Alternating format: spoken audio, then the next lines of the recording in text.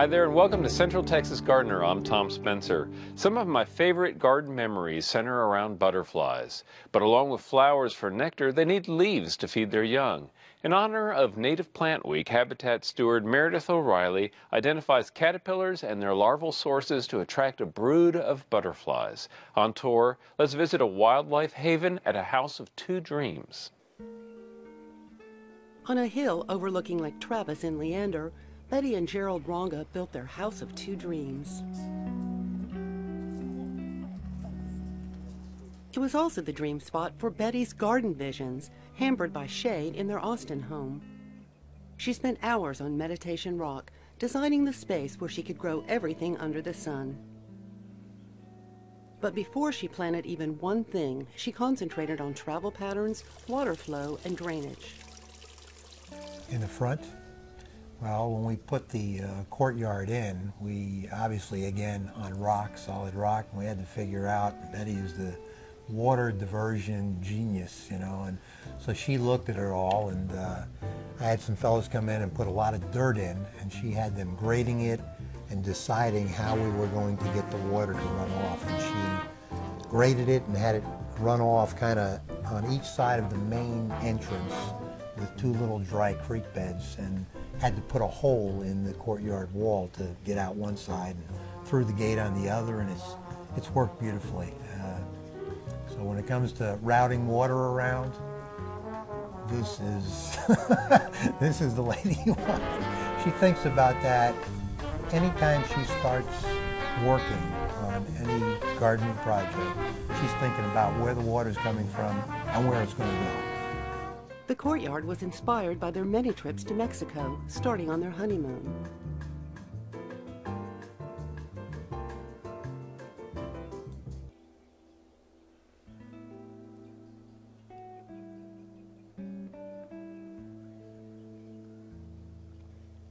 We had spent so many years going to Mexico uh, and loving the country. In the summer, we put the Cuban or Mexican music on, get a couple of beers, and we're right here. In back, the first job was to restore the view. The land was covered with cedar trees. The land was absolutely impassable. I'm not sure you could have reached this point without shimmying between cedars to get out to that rock. When we first saw it, we had no idea was, what was out there. We didn't even know there was a view. Total cedar, thick with cedar. That's what the land was like when we got here. We left cedar as much as we could on the sidelines to keep the diversity of trees. Betty designed their pool to follow the lines of the distant, though depleted, Lake Travis. But the dolphin boulder was pure serendipity. Betty also designed a pond to bring wildlife right up close.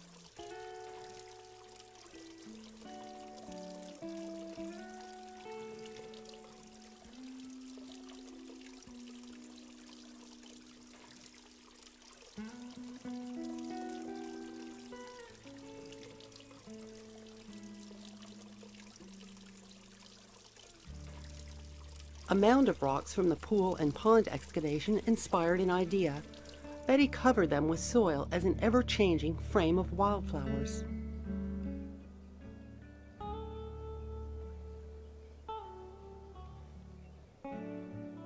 Betty's pathway design accounted for drainage, along with wheelbarrow traffic. Instead of stairs, she terraced with sloping walkways that disperse water, Good quality landscape fabric underneath and bordering rocks keeps the soil in place. Thanks to water and plant diversity, rather than a singular crowd of ash junipers, Betty's restored wildlife diversity.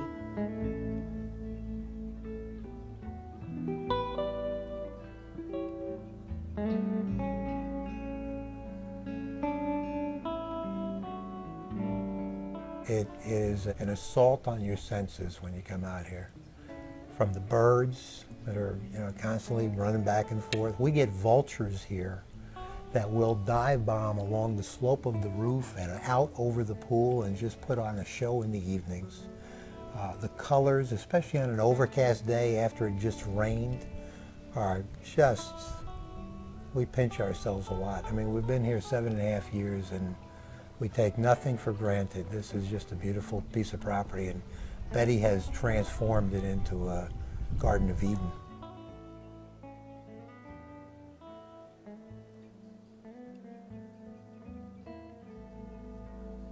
For the kitchen, it's also a true Garden of Eden.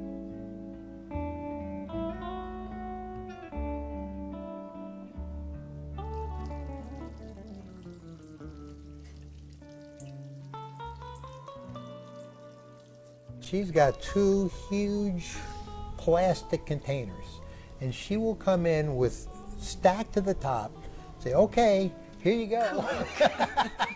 and then she'll and then she'll disappear and I oh, don't one. All I want is one. I don't want you to bring two. I'm cooking in there for two hours trying to get the, and we freeze them. cook them lightly so they're still, you know, just blanched kind of thing. And then get them in the freezer bags and put them in the freezer and freeze them. And we've got, I don't know, a do- still a dozen, 14 bags of meals and meals of greens that uh, just thaw out and have fresh organic greens. It's great. It is great, but it's, I, you know, one pot at a time, dear. one pot at a time. One of her techniques is recycling newspaper for mini dams to concentrate water around her fruit trees. And in this House of Two Dreams, golf meets gardening. Well, early on, we decided that we were interested in golf and gardens. And I wasn't interested so much in the garden part. and so any vacation or trip we took had to involve uh, going to a garden, a botanical garden, a private garden, something, for every round of golf I wanted to play. so on an early trip we took to Scotland, I got Betty to play around the golf with me, and then we took in a garden. We ended up going to a place called Inverewe Gardens in the very north, up uh, above Gairloch, Scotland. That I just it it was the moment. You know, there's I guess everybody has a moment where they decide instead of trudging along, like take me to a mall. I'm not interested. I'm tired immediately. Let me walk six miles on a golf course carrying my bag as long as I'm hitting a white ball. No problem. I'm okay. But we went to this garden and it was acres and acres of things, and I just fell in love with it. That day long ago prompted their garden putting green. I now have the best of both worlds, golf and gardens. Collaboration on dreams makes them come true. Wrangling them to reality can be another story, but it's just part of what really makes a house of two dreams. Mexico and Latin America were the inspiration for the house and the design. When we started, we were dreaming. And when we started, When we were building, nightmare. when we started, we were dreaming. Right? We could put another sign right next to it. Oh, that's a spectacular, spectacular garden. Beautiful lakeside views and a terrific plan. Thank you so much for opening your garden gates for Central Texas Gardener. Now we're going to be talking about a critical part of the ecosystem that really kind of grosses a lot of people out, but is something that really is important for you. And those are the caterpillars of all those beautiful butterflies and moths. And we have Meredith O'Reilly from the National Wildlife Federation who's joining us now to help us identify the good guys out there in the garden. and uh, I said creep them out. They don't creep me out. I love every one of them. You're an exception to the rule, I think, and in some ways. I think a lot of people still have a hard time with the caterpillars, though they love the butterflies. Mm-hmm. They're beginning to appreciate the, the two really go hand in glove, they, they, that they, they require, right? But uh, we're going to talk about great host plants for these guys, and mm-hmm. then we're also going to show people what the different uh, caterpillars look like, which is going to be very helpful for them. So uh, just start by talking about the fact that it um, it is Native Plant Week. Yes, it is. And uh, the interrelationship of these guys is really critical for our native habitats. Absolutely. Um, you know, our native plants are key to a very healthy ecosystem, mm-hmm. and we need the biodiversity to uh, have that um, healthy population of all mm-hmm. kinds of wildlife. Right.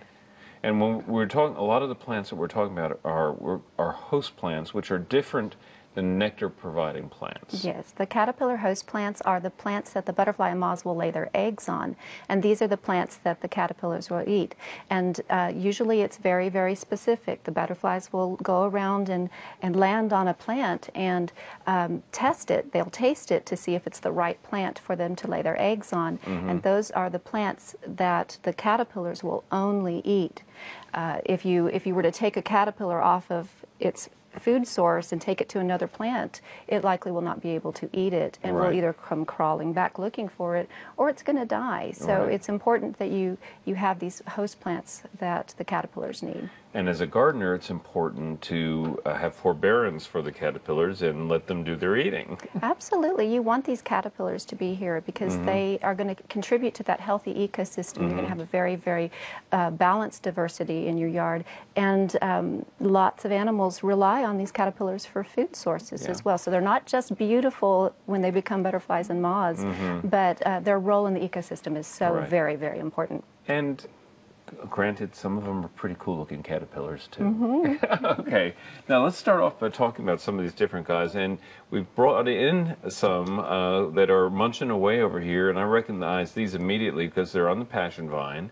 Which to me was the immediate tip off that these are Gulf fritillaries. These are Gulf fritillaries. one of our most common and beautiful butterflies. Mhm, They're very common here, and they munch on passion vine, um, the plants in the passion vine family. This Mm-hmm. right here is actually um, maypop, which Mm-hmm. is a purple passion flower, but uh, there's there's several different native passion Right. vines in, in Texas. And uh, the Gulf fritillary butterfly, a smallish butterfly with beautiful orange coloration. And uh, these guys, uh, you know, can get pretty thick on the passion vine. They can strip it down if you let them. W- yes, but the passion vine j- just generally responds by, by growing again. Yeah, very tough and plant. uh, you know, in ter- if you have children or grandchildren, this is a fantastic plant to have because you'll be able to watch that life cycle, you know, repeatedly. You'll see Yeah. chrysalises everywhere, and then you'll get to watch the butterflies emerge. Yeah. And there's just nothing more special than You know, and, and you're right about this one. And they're very prolific, and you'll see chrysalises everywhere. And so if you if you are good about checking, Mm-hmm. you'll you see a lot of the butterflies emerging, which is very very cool. And you're right. Also, passion vine. You don't need to worry about it coming back. it's a monster in a It, lot well, of this cases. this this one is. This Mm-hmm. one can be, but um, if you plant it, you know, in an appropriate spot, then Mm-hmm. you can let it do its thing. But those little spines on those caterpillars are actually not harmful to Mm. Yeah. people in this particular case. So, Yeah. good good uh, caterpillar to have in the garden. Okay, well, another host plant is the Lindheimer senna. Now, Mm. uh, what is the butterfly or moth that uh, prefers the senna? Well, different sulfur butterflies use it. I love the sulfurs. They're Yeah. so sweet. The sleepy orange Mm-hmm. is uh, a great one that loves it. It has a little uh, green caterpillar, Mm-hmm. and some of the other sulfur uh, caterpillars will have some yellow on them or different stripes. Mm-hmm. I like the, the sound of the sleepy orange. you know, in Austin, Texas, we all can go with a little sleepy orange, I think. And uh, uh, the Lindheimer senna is just a, a superb garden plant for It's- us. It is probably my favorite plant of the year. If I Oh, were to pick one, it's my personal favorite this Drought year. Drought survivor, good. It's a drought survivor, but it's got the softest leaves. Have you have you ever touched it? Um, yeah. mhm. It's it uh, has a nickname. It's puppy dog ears, and um, you go out there and it just just can't stop touching them. Mm-hmm. Uh, and it has this lovely little yellow bloom that uh, blooms in uh, late fall or Right. sorry late summer. All right. So the sulfurs and the sleepy oranges, like the senna, Hmm. Flame acanthus is another all-star plant for us here. And which which uh, uh, caterpillar should we be on the lookout for here? The crimson patch caterpillar and butterfly. Okay. Mhm. And um, the Flame acanthus is a great plant because it's also a hummingbird favorite. Mm-hmm. Right. So, uh, and it's a very drought hardy plant. Uh, uh, yeah, I, we have one in my current garden. I haven't watered it this year. Yes, I haven't watered mine either. Mm-hmm. Maybe maybe once or twice, but Mm. it's been blooming like crazy, and the hummingbirds are going going uh, Mm-hmm. crazy for it right now. And the uh, the butterfly there is the crimson patch, as you said, and Mm-hmm. another lovely native species. And the Um, little caterpillar has these tiny little black spines as well. But again, Mm. just like the uh, Gulf fritillary, they're not harmful to people. Mm-hmm. Um, but it's meant to be a warning to those birds that might want to come down and, Right. and munch on it. Right, scare the, the predators off. Mm-hmm. Coral honeysuckle, which is another favorite native. Mm-hmm. Um, beautiful flowers, uh, uh, nice woody vine, easy to control vine too. I like this Yes. thing about the coral honeysuckle. And uh, one of those great sphinx moths uh, uh, uh, is attracted to this one, right? The snowberry clearwing is um, a diurnal moth. That means it flies during the daytime, and people call it a hummingbird moth just because it kind of acts like a hummingbird going from flower to flower. and Mm-hmm. Got that long it- the- Yes, it does. Very long, and uh, it's a it's a beautiful, beautiful moth. Mm-hmm. But um, coral honeysuckle is also great because it's another hummingbird plant, and it has berries for the birds, Mm-hmm. and um, it'll grow kind of dense. So the sometimes you'll see birds nesting in it as well. All right. Um, Mexican plum. I didn't know this was a host plant. It is. It's a host plant for the Cecropia moth. And this is a beautiful moth. It's the largest, I believe, in North America.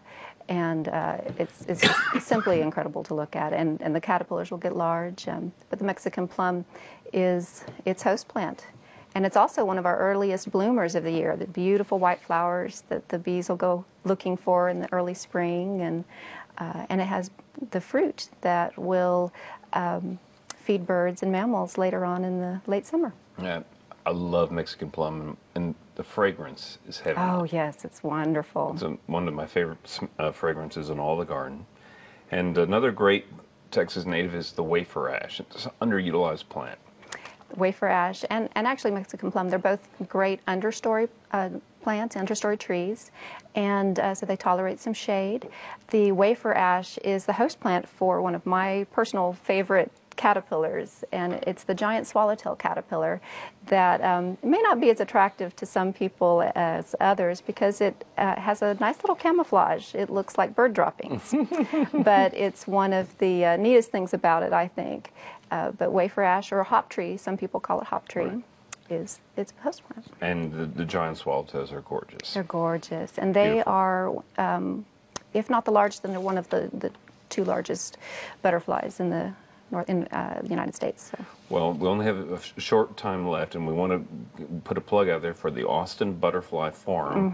Mm-hmm. And they have a great website where people can learn about, all about these different species, Mm-hmm. uh, butterflies and the caterpillars, as well as the host plants, correct? Correct. All right, so ut- austinbutterflyforum.org, is that right? It's actually austinbutterflies.org, Okay. and the organization is Austin Butterfly Forum. Okay. And uh, great lists there for plants that you may be looking for. All right. Well, Meredith, thanks so much for being our guest again, and uh, thanks to the butterflies and the caterpillars as well. Coming up next, it's Daphne. Hello and welcome to Down to Earth. Our question this week is about plant tags. Viewer Amy contacted us about some confusion and a large disparity between the label accompanying her crepe myrtle and the information that she found about the plant in her online research. The tag listed her crepe myrtle as growing 12 to 15 feet tall, but she found online sources that indicated a mature size of 25 to 30 feet. Well, as you might guess, this made a big difference to her. A 10 to 15 feet difference in plant size really changes where a plant should be placed in the landscape. Unfortunately, this problem is usually the rule, not the exception.